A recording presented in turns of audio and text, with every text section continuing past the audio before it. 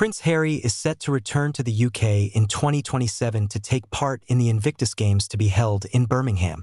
The announcement, despite the Duke of Sussex being overjoyed, has caused a wave of concern among Birmingham residents over the financial implications of the event.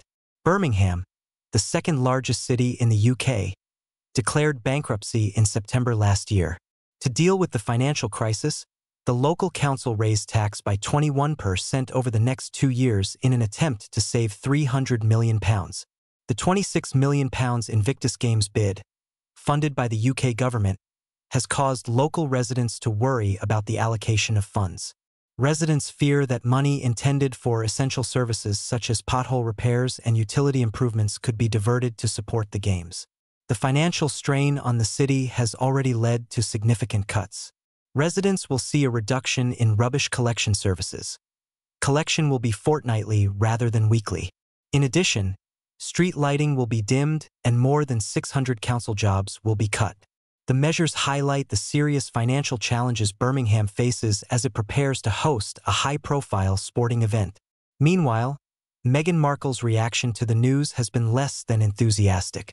There is talk that Meghan will never set foot on British soil again, despite the Invictus Games returning to the UK for the first time since London 2014.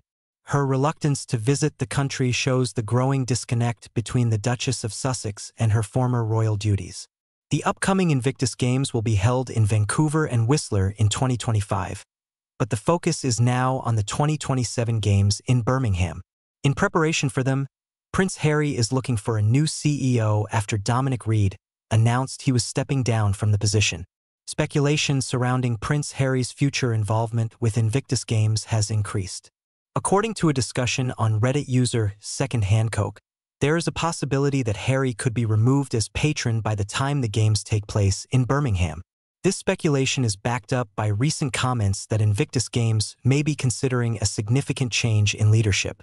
Royal expert and biographer Angela Levin raised eyebrows when she stated that Invictus Games may be planning to replace Prince Harry with Mike Tindall, a former rugby union player and husband of Zara Tindall, King Charles's niece. Levin suggested that Tindall has already been appointed Games ambassador, potentially becoming Harry's successor. Levin's remarks highlight the Invictus Games community's concerns about the royal family's growing association with the event. She criticized Meghan Markle's participation, suggesting that her involvement in public appearances detracts from the original mission of the event. Levin argues that Meghan's unfamiliarity with the military experience and her supposed emphasis on personal advancement has upset those attending the games.